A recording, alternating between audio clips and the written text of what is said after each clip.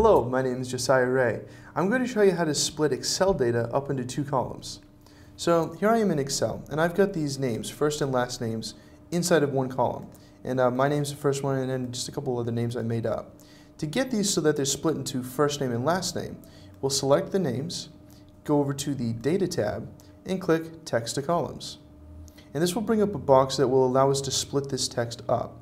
Now, first we can, we can choose a fixed width. So sort of break this up at the fifth character or so.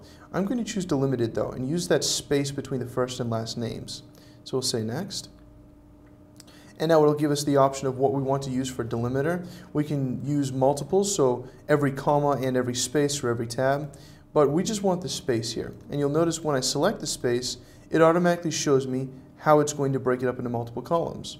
And we've also got this option to treat consecutive delimiters as one, which uh, we won't go into right now. So let's just click the next. And uh, it'll ask us how we want to format the new columns, and we'll just leave that as the default and click Finish. And there you go. The first and last names have now been broken up, but it kept the last name with each first name. I hope you've enjoyed this short video on how to break up Excel data into multiple columns. I'm Josiah Rea.